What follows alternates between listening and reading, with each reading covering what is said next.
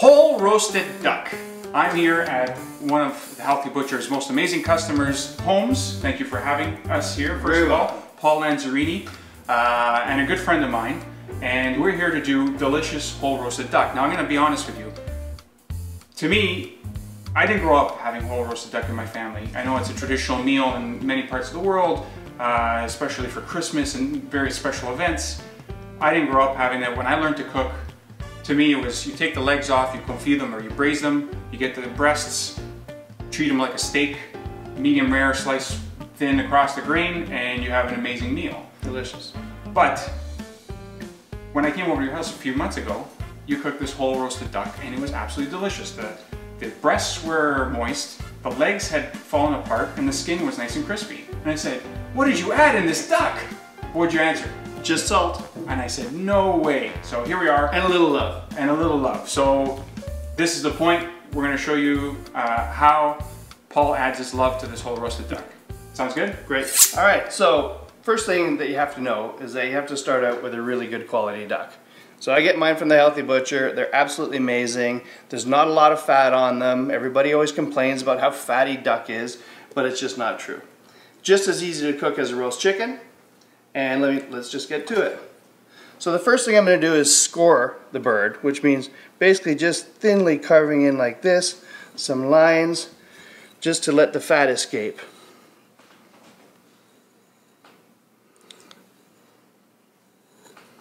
Now we flip the bird around and do the back as well. Helps to have a really sharp knife for this.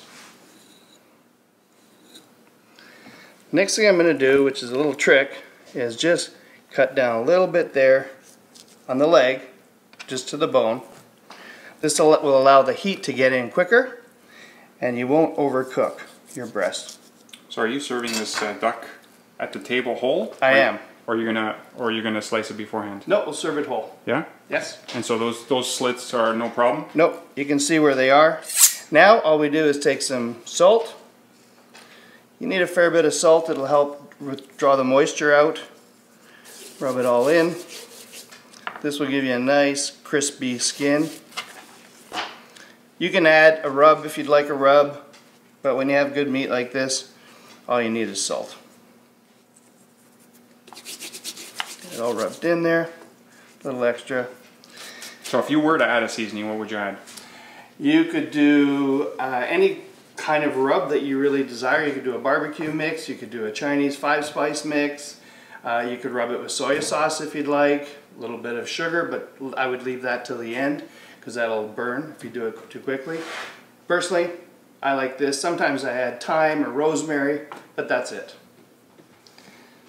Now I get our roasting pan, and you'll notice I have a tray in here. I put the tray in there to keep the skin off the bottom, otherwise it'll be cooking in the fat itself, and I want the air to get around it. Helps dry it out a little bit. So, this is the breast. We're going to put the breast side down, leg side up. This way you won't overcook the breast as well. And that's it. Going to go into the oven. Preheated oven, 425 degrees. Middle rack. Close it up and come back in about an hour. So now it's been an hour. Let's see how our duck is doing. Perfect. You can see we're getting nice crispy skin. Let's give it a flip. Pressed up. Time for that to get crispy. And we'll check it again in about half an hour. All right, so it's been an hour and a half. We're gonna check the bird. It's looking good. We need to check some temperatures. Looking for 155 to 165.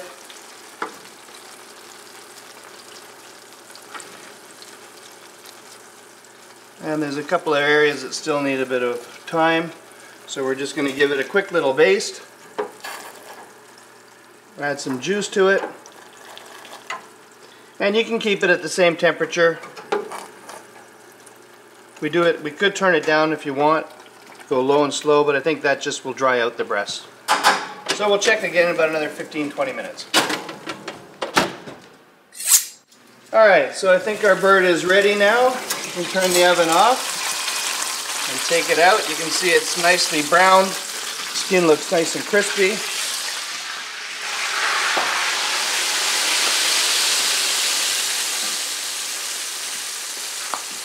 Look at all that great duck fat. It's all been rendered out.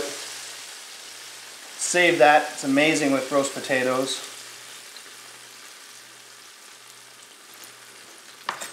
Great. Now what I'm going to do is strain off some of the bits.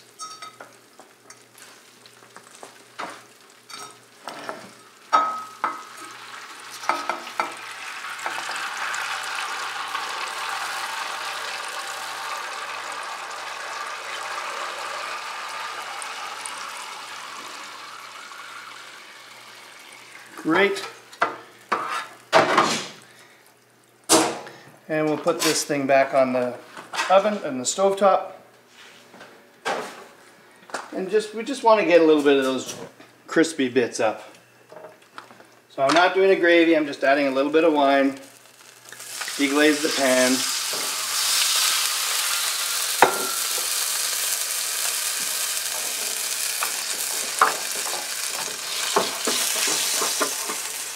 See all those bits starting to come up now.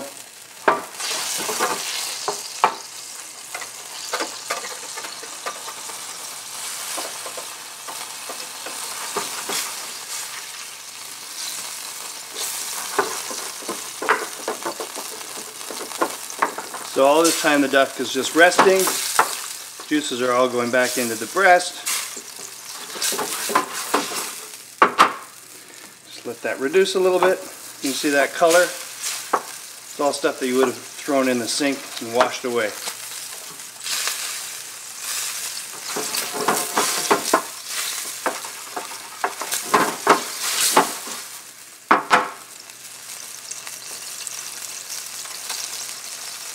So you can see here what we've done as well. This is all your fat that came out of the bird. Not much really. We're going to close that off and keep it in the fridge and that'll be good for I don't know maybe a month. Doesn't usually last that long in my house. To cook potatoes.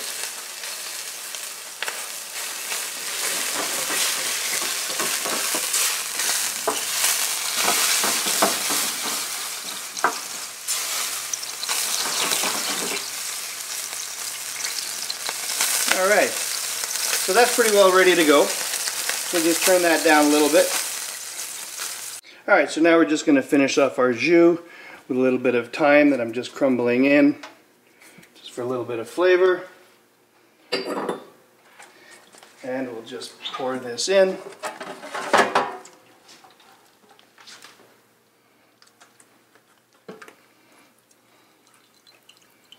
Nice. And there you have it. Alright, so it's time to carve up our bird. Let's take a look. You've got your wings here, so let's take one of those off. Use your hands as well, makes life easier.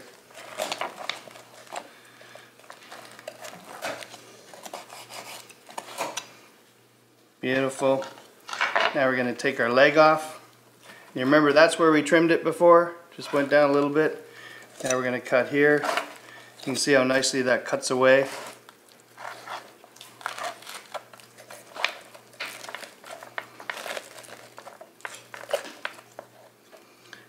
There's your leg.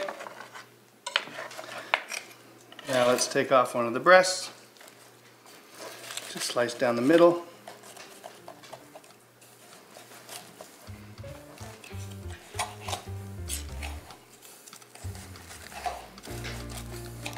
Just take it away from the bone, the breastbone there. You can see it comes away quite nicely, quite easily.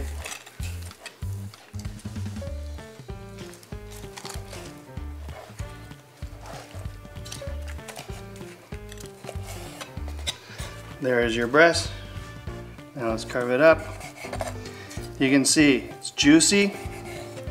And all that fat that was underneath there is all gone. You're left with a lean meat and a little crispy bit of skin. Look at the juice that's coming out on the table. Man, that looks delicious. And there you go.